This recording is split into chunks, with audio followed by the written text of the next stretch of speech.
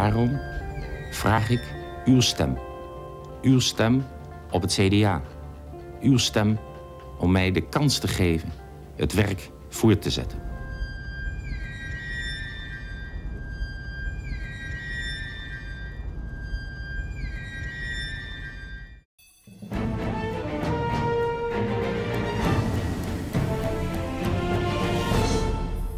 Goedenavond en welkom bij Nieuwsuur. Geen ideoloog, maar een pragmaticus. En een man die trots verkondigde dat hij Nederland een beetje saaier had gemaakt. Ruud Lubbers, de langzittende premier van Nederland. Hij overleed vanavond op 78-jarige leeftijd in zijn woonplaats Rotterdam. En daar gaan we deze hele uitzending bij stilstaan. Aan het eind krijgt u nog het andere nieuws van vandaag. Maar we beginnen uitgebreid met drie bijzondere gasten. Zij vormen nu het selecte gezelschap van oud-premiers van Nederland. Hartelijk welkom alle die. Allereerst Dries van Acht, u was premier van 1977 tot 1982. Wim Kok, premier van 1994 tot 2002. En Jan-Peter Balkenende, daarna premier 2002 tot 2010. Nogmaals welkom op deze bijzondere avond. En meneer Van Acht, ik wil bij u beginnen. Want u hoorde het nieuws van het overlijden van meneer Lubbers een paar uur geleden ook. Wat was uw eerste gedachte? Ik was voorbij, voorbij, echt verbijsterd. Ik wist wel dat Rutte het niet goed maakte. Dat wist ik natuurlijk wel. Wie wist dat, wie wist dat niet eigenlijk? Dat, maar eh, dat het zo snel tot het einde van zijn leven zou komen, dat volstrekt niet kunnen, kunnen bedenken. Ik schrok dus immens. Wanneer hadden we hem voor het laatst gesproken? Heel, hele poos geleden. Want wij hadden weinig contact. Uh, vrienden, in de ware zin des woords, waren wij niet. Heb je niet heel snel in de politiek, geloof ik? Nee, maar soms kan het beter. Meneer Kok, wat was uw eerste reactie? Ja, ik was geschrokken van het nieuws ineens. Ik, uh, precies zoals Dries van Acht zegt, uh, die, dat, die, die wetenschap dat het wat slechter met hem ging... en dat hij daardoor ook uh, bij een aantal gelegenheden niet meer kon of wilde optreden in het openbaar. Dat ging soms ook om samenkomsten van oud-collega's in het kabinet waar hij leiding aan gaf. Het kabinet Lubbers 3 in mijn geval waar die niet kwam. Dus dat, dat, dat wist ik. Uh, en uh, ik wist ook van, van collega's die wat intensiever contact met hem hadden. Ook recent nog uh, dat, dat, dat, het, dat, hij, dat hij niet goed in zijn vel zat. Maar ik had, ik had niet bevroed dat hij, dat, dat plotseling een, een stadium had bereikt. Wat, wat tot deze snelle ontknoping leidde. En ik was dus diep bedroefd en erg geschokt. Dat geldt ongetwijfeld ook voor u. Ja, intens uh, verdrietig bericht. We wisten dat het niet goed ging met uh, Ruud. Alleen het moment waarop iemand overlijdt is in en triest. Ik denk natuurlijk aan Ria, aan de kinderen, de kleinkinderen. Ik had een paar maanden geleden nog uh, gezien de manege. Daar liep hij soms rond, want de kleindochter heeft daar een paard. Ik heb hem heel vaak gezien en ja, ik vond het heel erg om te horen dat het slechter met hem ging. We hebben nog samen een uitzending gezeten, Kijken in de Ziel. Hij kon toen helaas niet meedoen. Dus ik vond een heel erg verdrietig bericht. Het greep me aan. Begrijp ik. We gaan het uitgebreid hebben over zijn carrière. Die heeft nogal wat jaren omspannen. Dus we gaan er zo meteen in zeven mijlslaarzen doorheen. We beginnen in 1982, want toen werd Ruud Lubbers premier. Van 1982 tot 1994 was Ruud Lubbers minister-president van Nederland. Op zijn 43ste de jongste premier ooit en niemand was het zo lang. Hoogstwaarschijnlijk bent u volgende week premier van Nederland. Betekent dat dat een uh, jongensdroom werkelijkheid is geworden? Uh, nee, dat betekent het niet. Ik heb uh, natuurlijk vele jongensdromen gehad, maar niet dit. Ietsje dichter bij elkaar. Lubbers stond voor zakelijke politiek als premier, de opvolger van Dries van Acht, die na de verkiezingen van 82 plotseling opstapte. Het een prima man. Kun je zo zien trouwens. Het waren geen makkelijke jaren. Het was crisis. Lubbers greep keihard in om de overheidsfinanciën op orde te krijgen. Ik zeg het met enige pijn, dat zit er voor het kabinet niet in. Er waren veel demonstraties tegen zijn miljardenbezuinigingen. En ook vanwege de mogelijke plaatsing van kruisraketten in Nederland lag hij onder vuur. Daarom moeten wij blijven investeren in een waardige vrede. In een vrede die minder bitter is. Ondanks al het protest deed Lubbers het goed bij verkiezingen, zoals in 86, toen hij het beeld dat van hem bestond denk, zelf treffend omschreef. Ik zal maar niet zeggen wat ik van mezelf denk, maar wat ik denk wat de mensen denken. Uh, doortastend. En ik denk uh, dat er nog wat mensen zullen zeggen... ja, maar dat sociale gevoel, dat heeft toch een beetje gehaperd met al die harde maatregelen. Hij riep met zijn beleid woede op, maar werd door anderen geprezen en toegejuicht. Twee keer haalde hij 54 zetels met het CDA. De kunst zal zijn om de, de sfeer van soberheid die gegroeid is... het besef dat de bomen nou helemaal niet tot de hemel groeien... om dat in de politiek levend te houden. Dus een beetje zuinig zijn met de uitgaven. In het kabinet Lubbers 2 zijn maar enkele nieuwe gezichten. Lubbers leidde in totaal drie kabinetten. Hij bouwde tijdens die twaalf jaar een speciale relatie op met de koningin. Beatrix is een generatiegenoot. Lubbers was een van haar vertrouwelingen. Als politicus verwierf hij als peetvader van het Nederlandse poldermodel aanzien in de hele wereld. Maar toen hij aan het eind van zijn premierschap een hoge internationale functie ambieerde, greep hij ernaast. Omdat hij te uitgesproken was, dacht hij zelf. Ik denk dat ik al zo lang in het vak zit. Te veel ervaring. Ik zeg me liever niet, als je het goed Succes. Het viel Lubbers zwaar om afstand te doen van de macht. Hij liet zijn opvolger Elko Brinkman vlak voor de verkiezingen van 94 keihard vallen. Ik heb er nog eens goed over nagedacht wat ik aanstaande dinsdag ga doen. En dat zal Elko Brinkman mij niet kwalijk nemen. Ik ga persoonlijk eens stemmen op nummer drie van het CDA. Dat is Ernst Hiers-Berlin. Het CDA stortte in en werd nooit meer zo groot als onder Lubbers. Lubbers zagen we nog terug bij de Verenigde Naties als hoge commissaris voor de vluchtelingen. Ook daar nam hij uiteindelijk afscheid in mineur. Hij trad af na een beschuldiging van seksuele intimidatie, waarvan hij later werd vrijgepleit. Maar om niet te zeggen verbitterd of teleurgesteld, nee. Daarna werd er enkele keren een beroep gedaan op Lubbers als informateur bij kabinetsformaties. Even terug in het hart van de politiek, waar hij jarenlang heerste zoals niemand anders dat deed. Soms onnavolgbaar, maar door bijna iedereen gewaardeerd als de man die altijd een oplossing wist. Ja, we praten zo meteen verder aan tafel, maar gaan eerst even naar Den Haag, naar Dominique van der Heijden, onze politiek duider. Dominique, welke typering van Ruud Lubbers hoor jij vanavond daar het meest? Ja, als je door de Tweede Kamer loopt, eh, dan hoor je van de huidige generatie politici hier vooral. Ja, die beginnen eigenlijk meteen over de stijl van Ruud Lubbers. Het taalgebruik van Lubbers, het Lubberiaans. Uh, een van de Tweede Kamerleden haalde meteen een woordenboekje tevoorschijn. En daarin staan woorden als doortunnelen en vermilderen, een positieve grondhouding. Dat is Lubberiaans. En hij sprak natuurlijk heel vaak in hele lange onbegrijpelijke zinnen. Maar zijn taal, ja, uh, zegt men ook hier, ja, dat was natuurlijk ook zijn wapen om met een hele zachte stem en met enorme lenigheid eigenlijk de meest ingrijpende maatregelen te nemen. Want politiek inhoudelijk was natuurlijk zijn, zijn grote verdienste dat hij Nederland door die economische crisis uh, van de jaren 80 leidde. Dat hij de overheidsfinanciën saneerde in een tijd van enorme werkloosheid enorm grote aantallen arbeidsongeschikten. Hij durfde het mes te zetten in die uitkeringen. En hij toonde dus aan dat je met bezuinigen ook uh, stemmen kon winnen, dat je verkiezingen kon winnen. Want hij haalde meer dan een derde van de zetels in de Tweede Kamer. Nou, daar kunnen ze hier uh, op dit moment in Den Haag alleen maar van dromen, van dat soort van aantallen. En dus merk je dat de huidige CDA-leider Sibran Buma en premier Rutte met veel respect, respect terugkijken op dat tijdperk Lubbers. Hij heeft Nederland door die moeilijke jaren tachtig geloodst, waarin we in een hele diepe economische crisis zaten. Maar vervolgens ook Nederland internationale allure gegeven. In de jaren negentig was hij ook een man die ook internationaal op het internationale toneel Nederland een gezicht gaf. Uh, een man van groot statuur. Hij was vanaf 1982 premier en dat was toen het CDA eigenlijk net opgericht was. Dus je kan zeggen dat hij het CDA echt groot gemaakt heeft en een centrale positie heeft gegeven in de Nederlandse politiek. Was hij ook een voorbeeld voor u? In heel veel opzichten wel. Uh, waar het gaat om uh, dat de minister-president ook internationaal een land gezicht moet geven, uh, absoluut. En dat je natuurlijk in een crisis ook ja, het voortouw moet nemen. Ja, dat is echt iets wat hij, denk ik, zijn opvolgers heeft meegegeven. Ja, Lubbers was dus 12 jaar premier, volgens sommigen te lang. Hij had moeite met het afstand doen van de macht.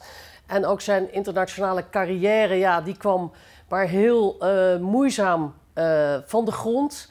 En toch wordt Lubbers natuurlijk herinnerd als een groot staatsman en vooral ook een zeer markant politicus. Dominique van der Heijden in Den Haag, dankjewel. En we gaan het hier aan tafel met dit selecte gezelschap verder uitdiepen. En ik wil opnieuw eh, bij u beginnen, meneer Van Acht. En dan beginnen we even voor 1982, want u was toen eh, premier. Lubbers leidde de CDA-fractie. Dacht u toen al, die neemt ooit het stokje van me over? Oh ja, zeker. Maar dat tekende zich al af in 1976. Toen al? Toen het ging om de eerste verkiezing van de eerste lijsttrekker van het CDA... dat formeel nog niet was opgericht, maar toch voor het eerst ging opereren... met een gezamenlijke fractie in de Tweede Kamer. En toen, toen was er al, uh, was al duidelijk dat, dat hij die, die, dat, die baan best wilde. Hij was ambitieus? Ja. Meneer Kok, ja, u wou nog wat ja, dat mag. Ja, dat, mag. Was ook zo. Dat mag zeker, daar kan je, kan je ver mee komen. Meneer Kok, u was natuurlijk minister van Financiën, vicepremier onder Lubbers. Maar daarvoor heeft u ook een paar jaar als FNV-man tegenover hem gestaan. Zeker. Um, hoe was dat? Hoe was hij als tegenstander? Het was altijd een, een, een openstaande gesprekspartner. Uh, die uh, contacten niet uit de weg ging. Dat wil niet zeggen dat hij standpunten overnam. Hij had de zijne en ik had ook als FNV-voorzitter de mijne. En ik stond dus eigenlijk aan het begin van de jaren tachtig, toen uh, Lubbers premier werd, op een andere plek in de modder met mijn benen, namelijk in, het, in de polder. En uh, in de polder uh, kwamen we tot het inzicht, werkgevers en werknemers samen. Niet regering op dat moment. Tot het inzicht dat we wel een, een niet-orthodoxe afspraak moesten maken, het akkoord van Wassenaar uh, die zou leiden tot een uitruil waar we allebei baat bij zouden hebben. En dat hebben we min of meer als een gegeven aangeboden aan het kabinet. Niet om het kabinet met een stukje erom een cadeautje te geven. Maar omdat we vonden dat het nodig was. En uh, ik denk dat dat in alle bescheidenheid wel een beetje ook heeft bijgedragen aan het succes wat nu terecht aan Ruud Lubbers wordt toegeschreven. Zijnde de man die met moed uh, het kabinet en Nederland uit de crisis uh, bracht. Dat was ook een beetje uw succes? Uh, nou, van alle, van alle mensen die het droegen. Want, want kijk, een crisis wordt niet veroorzaakt door één persoon... en wordt ook niet gerepareerd door één persoon. Dat hebben we wel ook toen samen gedaan. Zoals we nu ook de afgelopen jaren. Samen als Nederlanders een belangrijke bijdrage hebben geleverd... aan economisch en sociaal herstel. Wat ik wel vind, en dan hou ik daarover op hoor. Maar dat ik als vakbondsleider erg boos was. En ik dacht toen ook wel terecht boos. Op het feit dat het sociale, waar Lubbers zelf trouwens ook in, die, in dat filmpje net even van aangaf. dat had misschien wat scherper kunnen zijn. Hè? Dat, dat hij dat, ook. dat hij dat wel eens verwaarloosde. En te veel het, het, het, het rechtvaardigheidselement vergat. Maar er moest drastisch bezuinigingsbeleid plaatsvinden. En dat hebben we natuurlijk ook in de periode waarin ik minister werd voortgezet. voortgezet. Laten we even kijken hoe dat ging. Die economische crisis en de maatregelen die toen door Lubbers ook nodig werden geacht. Begin jaren 80. Ons land verkeert in een diepe economische crisis. En kabinet Lubbers 1 gaat fors bezuinigen. Opvallend, want Lubbers was als CDA-leider altijd fel tegen bezuinigingen. Maar nu moeten de ambtenaren 3,5% gaan inleveren. Er komt massaal verzet. Als u het wilt, dan is er geen macht in dit land die ons kan tegenhouden. Uiteindelijk wordt er niet 3,5%, maar 3% bezuinigd. Uniek. Uniek. Meneer Balkenende, u was gemeenteraadslid in Amstelveen in deze periode. U Ja. was halverwege de twintig, als ik me niet vergis. Bewonderde u Ruud Lubbers ehm, om zijn standvastigheid op zulke thema's? Eh, ja, want iedereen wist er moesten dingen gebeuren. Financieringstekort van 10%, daar praten we over in die tijd. Eh, de werkgelegenheid die niet goed ging. Eh, er moest iets gedaan worden. Ik was toen raadslid, maar ik werkte ook bij het wetenschappelijk bureau van de partij. Dus ik heb heel veel gedaan toen aan het denken over de verantwoordelijke samenleving. Het was er genoeg om met Ruud om te gaan. Ik had ook een interview met hem destijds. en ging over bestuurlijke veranderingen in Nederland. Nou, als je dan met hem praatte, dan had hij gelijk al vier, vijf opties. Het was een denker. Dus ik heb altijd van hem genoten. Ik weet nog heel goed dat hij tegen de stroom in durfde te gaan. En toen kreeg hij de verkiezingen in 1986 en tegen de verwachting in in die 54 zetels. Nou, dat was zo'n fenomeen. Nou, dat was wel. Dat is u niet gelukt? Dat- nou ja, ik had er in de 40. Ja. Net niet. Maar het was, het was ontzettend knap wat hij heeft gedaan toen. Eh, juist ook omdat hij, en Wim zegt u heel terecht... dat natuurlijk was er kritiek van de kant van de vakbeweging. Je moest tegen de stroom ingaan. We hadden de kruisraketten. En ik vind het knap dat hij altijd standvastig is geweest. Koos voor een no-nonsense politiek. Ja, en dat heeft hem echt gesierd. Heeft u gemeen met Ruud Lubbers dat u allebei eigenlijk min of meer bij toeval premier bent geworden? Nou ja, toeval. Kijk, Ruud zat er al een tijd. Hè. Die was eerst minister van Economische Zaken geweest. Uh, toen via fractievoorzitter. Nou, meneer Van Acht stapte onverwacht op als partijleider. En zo, zo ging dat. En uh, ik zat vier jaar in de Kamer. En toen, ik was nou, in de oppositie toen Wim Kok uh, premier was. En ik werd minister-president. Ik heb wel heel veel aan Ruud altijd gehad. Toen bij het wetenschappelijk bureau zat, als Kamerlid, heb ik veel contact gehad met, met Ruud. En ook toen premier was. Hij een mentor? Was, mentor, zeker toen ik in de Kamer kwam. noem maar eens, ik, ik maakte een concept speech. Uh, dan gingen die zaterdag om zes uur bij hem even brengen de Lambertweg in Rotterdam. En binnen dan werd hij wat langer. nou ja, het altijd opmerken. Het was altijd goed. Hij, was, hij leefde met je mee. Ook toen ik premier was. En ook weer nog heel goed. Um, het, hij was benaderbaar, maar hij was er als het nodig was.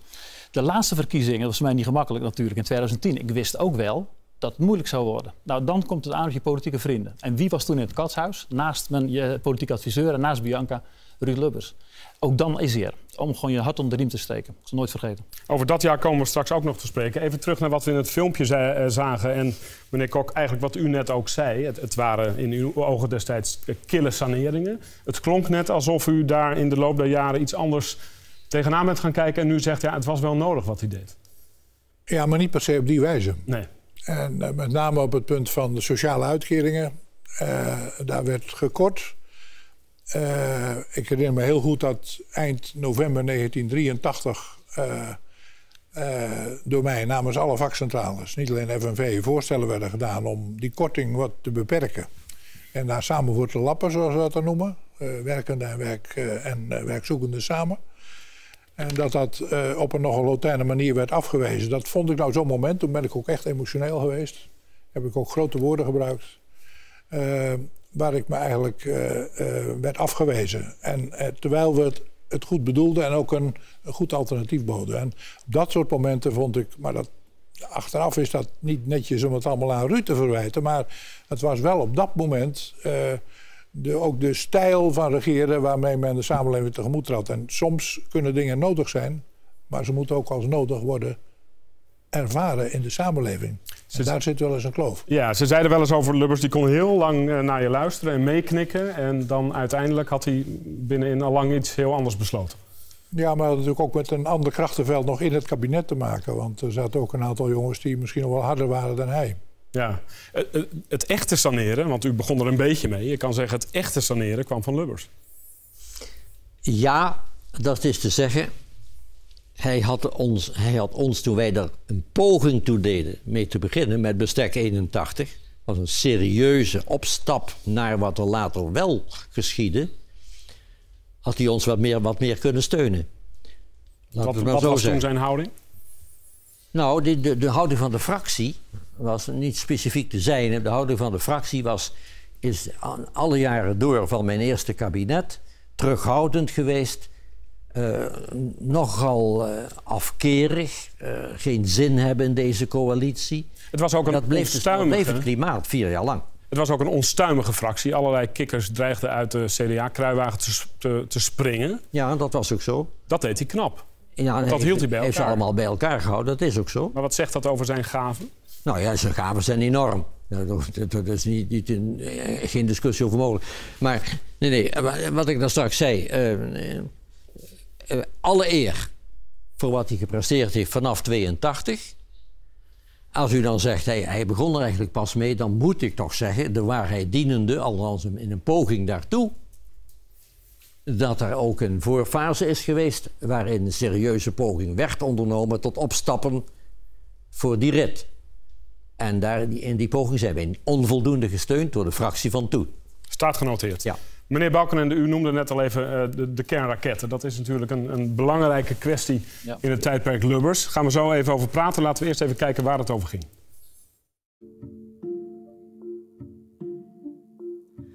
Nederland is begin jaren 80 tot op het bot verdeeld over de plaatsing van kruisraketten. Grote delen van de bevolking zijn tegen, een gevarieerd en bondgezelschap. Er vinden twee massademonstraties plaats. Lubbers probeert een oplossing te vinden die voor iedereen acceptabel is. Hij koopt tijd door het besluit steeds uit te stellen. Minister-president, de heer Lubbers, aan de achterzijde van de houtrusthallen, min of meer onopgemerkt. Ziet u er tegenop? Ik heb nu natuurlijk nog niks te vertellen. Ga eerst luisteren. Maar in 1987 is er een doorbraak en tekenen de Verenigde Staten en de Sovjet-Unie een wapenverdrag. Hierdoor zijn de kruisraketten uiteindelijk toch niet geplaatst in Nederland. Meneer Kok, wat was het internationale krachtenveld waarbinnen de Nederlandse premier zich destijds moest bewegen? Want er gebeurde nogal wat.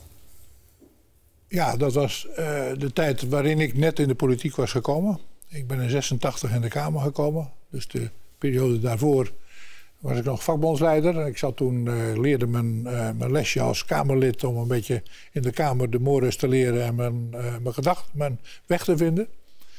En ik denk dat uh, toen in die periode in het internationaal krachtenveld uh, een, knappe prestatie is geleverd door de hoofdrolspelers om tot een, uh, tot een, tot een akkoord te komen. en ik denk dat je ook zou kunnen zeggen dat de vredesprotesten, de, vredes, de roep om vrede, die niet alleen in Nederland, maar ook in andere landen van Europa luid klonk, ook al mee heeft geholpen aan het besef dat er iets moest, moest veranderen en iets moest gebeuren te, te versterken, te ondersteunen. Als het gaat om het kernrakettenbesluit, Lubbers schoof dat telkens voor zich uit. Was dat onvermijdelijk? De geschiedenis heeft hem wel in zijn gelijk gesteld. Zeker. Wat dat betreft. Dus uh, ik, ik, denk dat dat veelzeggend is. Hij had ook wel moed. Um, ik vond het heel knap dat hij met al die demonstranten uh, dat hij heen ging. Dat hij daar sprak. Iedereen draaide zich om. Uh, iedereen keerde de rug naar de Lubbers toe. En hij ging gewoon door. Hij dat, was niet bang? Hij was niet bang. Hij was niet bang. En hij voelde ook aan, denk ik, als minister-president, dat het onderwerp eigenlijk iedereen splijtte. gezinnen waren gespleten, de, de samenleving lag, zeer verdeeld hierover. En dat heeft hij denk ik heel goed opgepakt door uiteindelijk wel te werken aan een oplossing ja, die uiteindelijk wel bindend werkte. Ja, meneer Van Acht, u bent na uw premierschap, uh, mogen we wel zeggen, enigszins links afgeslagen. Hoe keek u destijds tegen die kruisrakettenkwestie aan? Uh, toen, zoals, zoals Ruud later gedaan heeft, dan tijdens, heeft hij in dezelfde jaren eigenlijk gedaan heeft. En tot slot tot hij de mogelijkheid zag om de, het, besluit Nederland, jaarbesluit uit Nederland te krijgen. Kort voordat met de Russen totaal akkoord werd bereikt. Hè. Dat is heel, heel knap gedaan. Nee, wij waren daar één, één, eensgezind over. Er is geen enkele twijfel over. Er waren andere dingen die, die, iets minder soepel tussen ons liepen. Maar dit, hier was geen, punt van verschil. Het was ook puur pragmatisme wat hij hier deed. Hè? Hij, heeft, heeft zelf gezegd, uh, uh, Lubbers, over uh, zijn ideologie. Eigenlijk zei hij, ik was nooit een ideoloog. En, en dat was mijn kracht en dat was ook mijn zwakte. Hoe ziet u dat? Vond u nou, hem een ideoloog? Ik, um, hij was op bepaalde momenten absoluut reflectief ingesteld. Maar dat was een vaak in een kleinere setting. Als wij vanuit het CDA contact hadden met kerkelijke groeperingen of anderen... dan was hij wel reflectief. Maar in het dagelijkse politieke handwerk was het wel de man die gewoon de hervorming moest doorvoeren. Er moest worden omgebogen. En dan was hij echt de pragmaticus. Ik vond hem ook eerlijk gezegd als um, oud-premier meer reflectief ingesteld. Hij werd hoogleraar globalisering. Hij werd betrokken bij de Earth Charter-beweging. Dat had te maken met duurzaamheid. Uh, hij trok zich veel aan van het vluchtelingenvraagstuk. Ik, dus later is hij veel meer reflectief ingesteld geworden. Is dat omdat wijsheid met de jaren komt? Of, nee, of dat, is zijn interesse gewoon verschoven? Kijk, hij was natuurlijk wel iemand die mee vorm gaf aan het nieuwe CDA. Uh, het CDA kwam in 1980 tot stand. Uh, het concept van een verantwoordelijke samenleving moest worden uitgewerkt. Daar werkte iedereen uh, hard aan. Maar hij had wel als premier de taak om het land regeerbaar te houden, om moeilijke maatregelen te nemen. En hij voelde die verantwoordelijkheid zeer. En daarmee was hij wel pragmatisch ingesteld. Maar wel met een overtuiging die denk ik veel dieper zat. Maar die dingen die hij na zijn premierschap noemt, die, hij, die u net noemt, ja. bij de UNHCR natuurlijk. Hij was ook voorzitter van het Wereld Natuurfonds, als ik me niet uh, vergis. Daar was hij in elk geval bij betrokken. Heeft, heeft hij dat ook misschien als een soort correctie op eerder beleid gezien? Had hij ergens spijt van? Nee, dat geloof ik niet. Uh, het is zo dat hij andere kansen kreeg na zijn premierschap. Ik heb ook genoeg momenten met hem meegemaakt, ook in de partij en daarbuiten, dat hij wel degelijk aangaf van hoe hij tegen dingen aankeek, wat hem dreef. Dat was een gelovig iemand. Uh, maar als je dan ja, hoogleraar wordt en je praat over globaliseren, dan komt er een nieuwe fase in je leven. Wat ook heel praktisch was, in, in Rotterdam heeft hij het Rotterdam Climate Initiative genomen. Dat had echt te maken met het duurzaam profiel van de stad als Rotterdam. Ook dat deed hij. Ja. Um, een glanzende binnenlandse carrière, dat kan je toch wel zeggen. Dat geldt niet voor zijn buitenlandse carrière. Daar gingen een aantal uh, dingen mis. Te beginnen met zijn kandidatuur voor het voorzitterschap van de Europese Commissie. Laten we daar ook even naar kijken. Lubbers had een moeizame relatie met de Duitse bondskanselier. Kool was kwaad omdat Lubbers kritisch was geweest over de hereniging van Oost- en West-Duitsland. De slechte relatie hing begin jaren 90 boven de onderhandelingen rond het verdrag van Maastricht, waar de basis werd gelegd voor de Europese Unie en de euro. Kool blokkeerde kort hierna de kandidatuur van Lubbers voor het voorzitterschap van de Europese Commissie. Ja, meneer Kok, tegen de uh, Duitse eenwording. Je kan toch zeggen dat het beroemde het goede inschattingsvermogen van Lubbers hem daar even in de steek heeft gelaten. Nou, tegen. Hij was, hij was natuurlijk met, met enkele anderen. Uh, Mitterrand en, en, zeker ook uh, Thatcher. Uh, sceptisch over, over, over de wijze waarop de, de Duitse eenwording vorm zou krijgen. En hij was waarschijnlijk wat, wat te direct in het verwoorden van die, van die twijfels. Uh, waardoor uh, hij uh, bij de bondskanselier, die niet altijd even fijn besnaard was, al snel werd ingedeeld bij een categorie waar hij eerder last dan gemak van had. En dat heeft, denk ik, want ik heb die periode natuurlijk heel intensief meegemaakt. Dat heeft denk ik een kwade vruchten afgeworpen in de periode dat het voorzitterschap van de Europese Commissie echt ging spelen. En ik was dus ook in Corfu voor Nederland. Om de kandidatuur Lubbers te verdedigen in een vergadering van de Europese Raad in 1994. En daar werd dus die, die kandidatuur werd geblokkeerd door zijn partijgenoot Kool. Wat wel een vrij bizarre situatie opleverde. Dat de ene christendemocraat van het grote Duitsland een andere christendemocraat in het naburige Nederland blokkeerde. Voor Broedermoord. Uh, nou, ik gebruik daar verder geen kwalificaties bij, maar ik, ik vond het wel buitengewoon uh, uh, merkwaardig en ook, en ook onplezierig om dat mee te maken. en dat heeft natuurlijk wel een grote teleurstelling bij Ruud opgeleverd. Ja, heeft dat hem veel pijn gedaan? Is dat ook uw indruk? Ja. Dat hij die post misliep? Ja, dat, is zeker. Dat heeft hem zeker pijn gedaan. Maar het werd natuurlijk um, het werd hoofdstuk 1 van een tragiek van, van drie hoofdstukken. En, ja, hij wilde NAVO-baas worden. Daar wil misschien later nog over hebben. Ja, maar nou, laat, laten we daar gelijk toe komen. Ja, dus die, dit is, dit is heel, heel naar, heel naar. Ik, ik, ik, vond het on, onverstandig wel dat hij dat die, dat die op dat moment in die euforie in Duitsland en, en, veel Europeanen die daaraan meededen. Hij, hij was, was kritisch terecht, zegt Wim Kok. waren geen kleine mensen als uh, Mitterrand en Thatcher het eigenlijk met Ruud eens. En er daar ook blijk van. Dus zo gek was het nog niet. Maar of het nou zo wijs was om, om, om, om dat te doen, want het, het tekent zich al vrij snel af dat het gaat gebeuren. Het, het, werd uiteindelijk, als ik u mag onderbreken, een, een drama in die, drie bedrijven, zou je kunnen zeggen. Ja. Deze post liep hij mis. Vervolgens wou hij NAVO-chef worden. Die post liep hij ook mis. Ja, toen werd hij hoge commissaris van de vluchtelingen in 2000. Dat heeft uiteindelijk vijf jaar geduurd. Maar daarna moest hij romloos afscheid nemen vanwege, we zagen dat ook in het filmpje, een kwestie van um, seksuele intimidatie. Althans, aantijgingen. Klopt, en die zijn later ja. um, ja. um, weerlegd, maar de mist is nooit helemaal verdwenen. Nee. Dat, dat moet een staatsman als Lubbers, want dit was toch het einde van zijn bestuurderscarrière, pijn hebben gedaan. Dat, dat laatste, zeker dat laatste heeft hem veel pijn gedaan. Uh, was dat bespreekbaar uh, met hem? Heeft een van u daar ooit met hem over kunnen spreken? Enigszins uh, zijdelings toch nog, moet ik zeggen. Omdat ik daarin, ik vond, vond het niet correct om daar zelf uh, meer over te vragen dan hij wilde zeggen.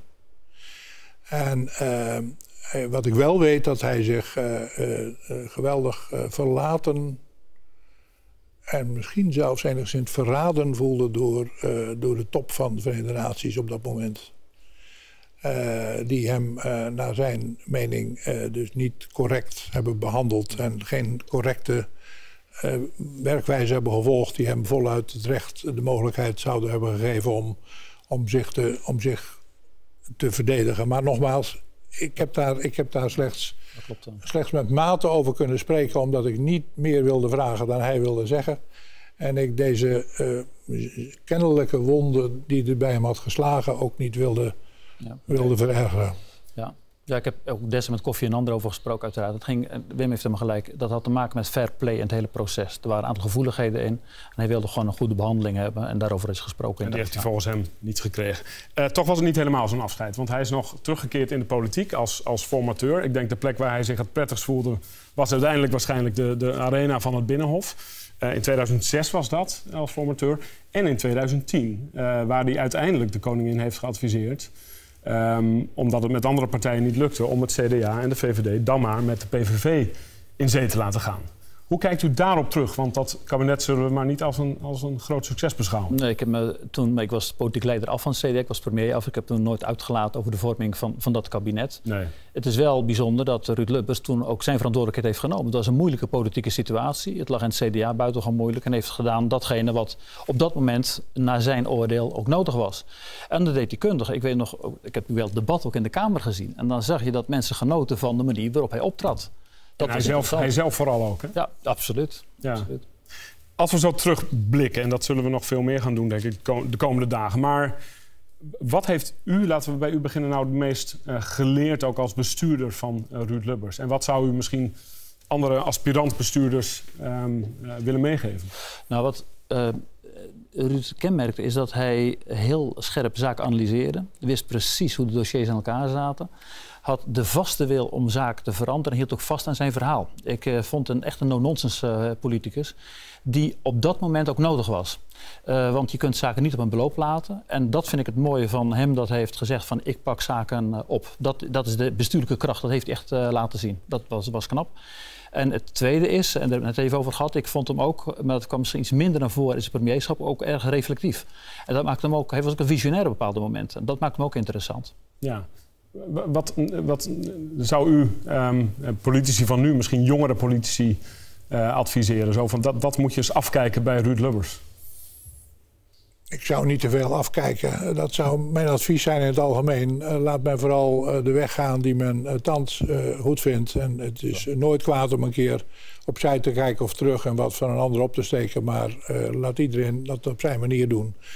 Wat ik van Ruud wat bij Ruud heb bewonderd, uh, dat was, uh, want dat kabinet uh, van Partij van de Arbeid en CDA vanaf 1989 was ook niet eenvoudig.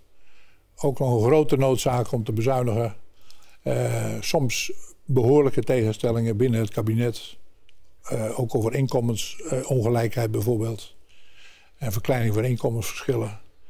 Wat ik knap van hem vond, dat was dat hij had ook heel sterk een eigen mening hij is ook heel duidelijk een CDA-man. Je bent ook als premier natuurlijk altijd uh, man van je eigen partij, nog. Maar hij was toch in staat, en dat was meer dan spel, toch in staat om dat ook te doen op een wijze die, uh, waarbij hij zich enigszins boven de partijen plaatste als het maar even kon. En daar die rol van leider van het kabinet vervulde. En dat, uh, daar heb ik veel van geleerd. Uh, Lijkt hij in die zin misschien een beetje op de huidige premier Rutte, van wie ook wordt gezegd dat is een pragmaticus, iemand die drie telefoons tegelijk bedient om de boel bij elkaar te houden, zijn kabinet? Niet nou, helemaal gelukt. Ik, maar... ik, zou me verder nu maar niet wagen aan vergelijkingen met, met Thans. Ik ben daar te weinig in ingevoerd. Ik, ik, het is, ik zeg meer wat, wat mij toen is opgevallen. Ja. En uh, ik vond het dus in dat opzicht een plezier om met Ruud te werken. We hadden toen niet zoveel tijd uh, uh, over om over reflectieve onderwerpen te praten, want het was hard aan knokken, knokken iedere dag. Maar hij heeft zich wel bewezen als een man die inderdaad weet waar hij voor staat en wat hij wil. Open staat voor, op basis van respect en overleg voor andersluidende opvattingen. En daar als leider van het kabinet toch een soort teambeslissing van te maken. En dat is knap. Ja, wil ik met u afsluiten, meneer Van Acht. Een ja. magger, hè, dat is ook zo'n woord dat aan Ruud Lubbers kleeft. Een, een geslepen politicus, uh, in de goede zin van het woord, uh, misschien wel. Wat is nou de eigenschap die bij u het meest blijft hangen? Het eerste wat opviel vanaf dag één, toen ik met hem echt te maken kreeg, was uh, de, de, de, het niveau van zijn intelligentie. is opmerkelijk hoog. Hier zitten ook een aantal slimme mensen aan de tafel, maar ik, ik kwam niet tot zijn niveau. Nou, dat is één. Twee, uh, die, die tomeloze energie. Die jongelui die minister-president willen worden, die kunnen beter zorgen dat ze ook aardig wat bij zich hebben. Willen ze maar in de verte op Ruud gaan lijken. En, en, en de, derde, de, derde, is de dapperheid nu. Die is al genoemd. Hè? Daar, daar, die demonstratie op de, de houtrusthallen. Hij, hij deed het, hij zette het door. Hij hield zijn speech tot, de la, tot het laatste woord. En het was allemaal bitter moeilijk en onplezierig. Onaangenaam ook. Dus uh, er, zijn, er zijn denk ik nog niet veel jongelui in het vaderland helemaal klaar voor om op het niveau Lubbers te gaan regeren. Goed, nou dan wachten we nog even. Ik wil u heel erg bedanken voor dit gesprek en voor uw komst naar de studio. Wij gaan nog even door met het onderwerp. Um, uh, en we spreken zo meteen met twee journalisten die hem jarenlang op de voet hebben gevolgd. Maar u alvast heel erg bedankt voor, um, uh, voor uw komst naar de studio bij deze gelegenheid. De Rotterdamse NRC-fotograaf Vincent Mensel fotografeerde het hele politieke leven van zijn stadgenoot Ruud Lubbers. En ze raakten bevriend. Wij zochten Mensel vanavond op. Jarenlang heb ik hem als een horzel nou ja, gevolgd. Dankbaar object? Absoluut, ja. Net als, uh, net als de meeste politici die er, wel, die er toe doen in, in Den Haag... heb ik hem met groot plezier uh, en, en ook uh, standvastig gevolgd. Het was een hele goede vriend, niet alleen van mij, maar ook van thuis. En um, ja, ik ben aangedaan, aangeslagen, maar ja, hoe moet je dat nou omschrijven? Gewoon. Wanneer heeft u voor het laatst gezien? Uh, vorige week, een, week, een, kleine week geleden, hebben we elkaar gesproken en dat was heel goed. Dat was ook fijn. En uh, we hebben uh, we hadden een goed gesprek. Ja. ja, hij was nog goed te pas toen. Absoluut. Ja, nee, het was heel helder. En de momenten dat we elkaar spraken was ook leuk. Was, we konden goede, prima herinneringen ophalen. Leuke herinneringen, leuke anekdotes, maar ook uh, serieuze dingen. En waar ging het laatste gesprek over, weet u dat nog? Oh. Onder andere? Nou, ja, dat vind ik wel heel intiem eigenlijk. Maar het is, is uh, ik denk eigenlijk wel ook... Ja. Over de dood? De dood hebben we het wel gehad, zeker, ja. Ja. Ja, hoe je, hoe hoe je, dat, hoe je daarmee omgaat, dat is heel bizar. Maar, Dit is een belangrijke ontmoeting voor hem, omdat hij goed bevriend was ook met Gorbachev. En die was in Nederland. En ja, je merkte dat er een heel intieme relatie tussen die twee mensen was. Dat was een grote vriend van hem.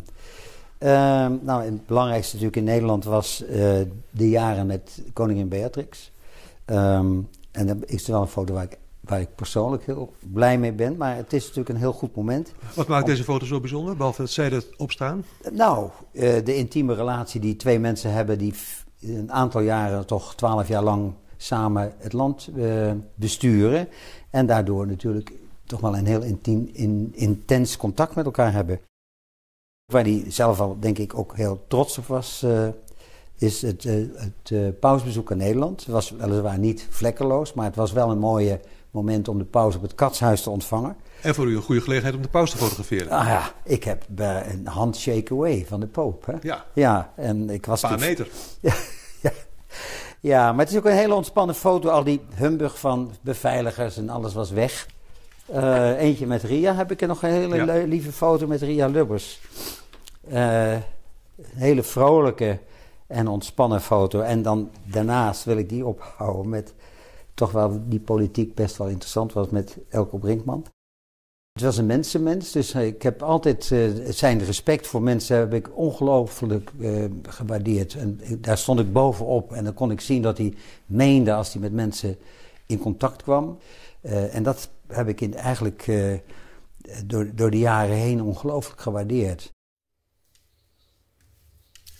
We praten verder met twee verslaggevers die hem destijds um, op de voet hebben gevolgd. Jan Tromp, parlementair verslaggever destijds voor de Volkshand. En Ton Elias destijds voor Den Haag Vandaag en ook RTO Nieuws. Allebei welkom, meneer Elias. Um, Lubbers was handig met politici, handig in de politiek. Dat hebben we net ook van de drie oud-premiers uh, gehoord.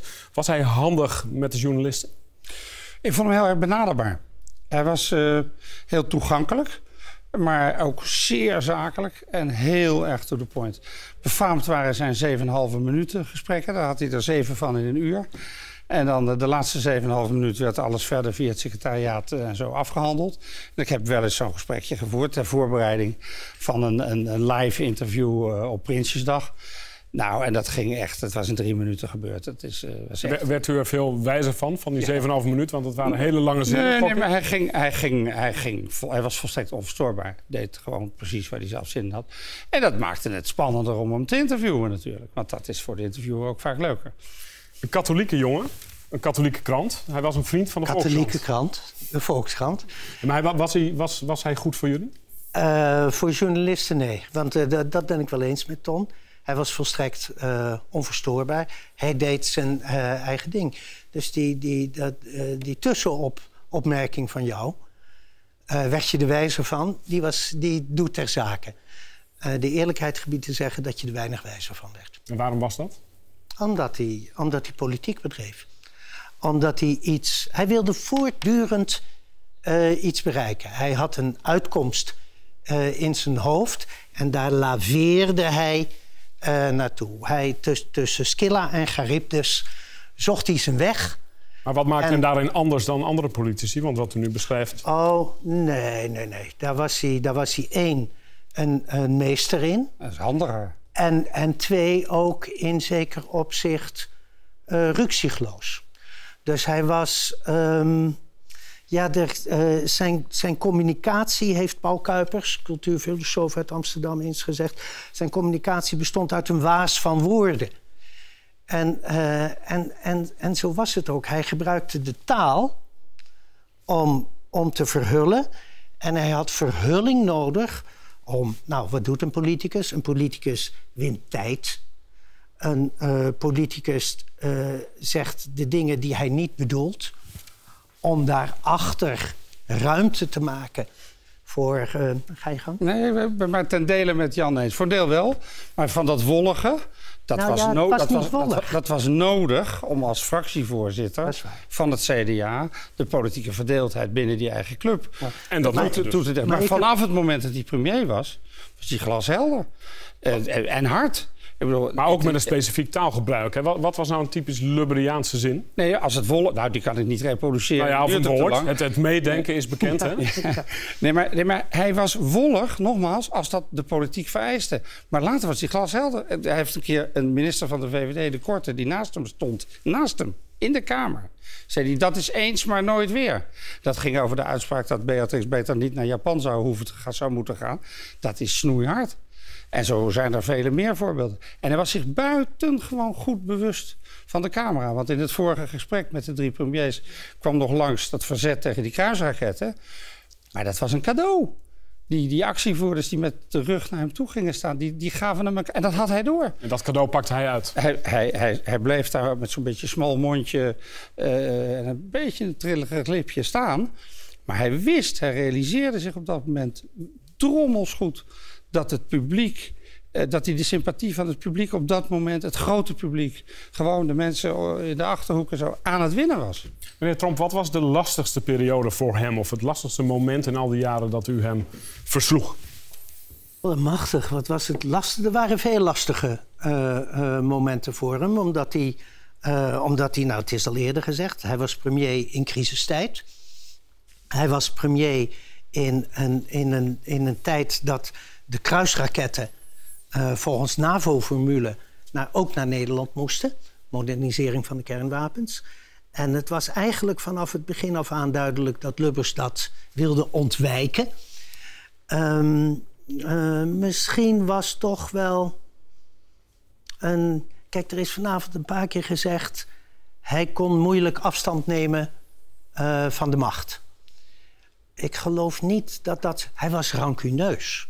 En op momenten dat hij op zijn staart werd getrapt, werd het voor hem heel eh, moeilijk. Hij rekende, Dan werd hij ook venijnig. werd hij venijnig. Hij rekende spijkerhard af. Vals. Hij rekende spijkerhard af met Elko Brinkman. Daar was iets aan vooraf gegaan. Op Texel. Dat zagen we net in 1994 dat Op hij Texel niet voor hield- Brinkman koos. Nee, precies. Maar daar was iets aan vooraf gegaan. Op Texel had eh, op een verkiezingsavond, op een campagneavond... Elko Brinkman, die zich al de premier waande, eh, gezegd... het speelkwartier is over. Ja. We, gaan- we gaan Nederland echt aanpakken, was het van. Nu wordt het tijd voor een serieuze regering. Dat was, dat was de, de, de boodschap. Dat viel niet goed. Dat viel niet Ik goed. weet niet of en hij rekende... rancune was, maar hij rekende inderdaad spijkerhard af. Hij zei, ik, ik ga op Piers Berlin stemmen. Ik heb het de, nummer, de nummer drie. Ja, dat zagen we net, lijst. net in het filmpje. En een heel pijnlijk moment was natuurlijk het einde van zijn, eh van zijn eh politieke Als hoogcommissaris voor de vluchtelingen. Ik, Ja. ik wil eventjes bij u afsluiten, even, even kort. ehm, want u bent nog niet zo heel lang weg uit de politiek, eh, uit de Tweede Kamer. Zijn er eigenschappen die Lubbers had die in de huidige politiek worden gemist? Die de huidige politiek leiders niet of te weinig hebben? Nou, de momenten dat hij duidelijk was. En als premier. Ik bedoel, Macron moet in Frankrijk nu gaan doen... wat hij in 82 samen met Ruding is begonnen. Maar zijn politici van nu dan niet duidelijk? Ik vond dat hij eh, in de Tweede Kamer, als het erop aankwam... en het speelde echt stevig... En Was hij harder? Was buitengewoon hard, Ja. buitengewoon rechtstreeks... en er werd niet omheen gekletst. En dat is, eh, dat, dat is toch wel erg vaak het geval soms. We moeten het hierbij laten. Hartelijk dank eh, voor uw eh, komst naar de studio en voor de herinneringen ook vooral.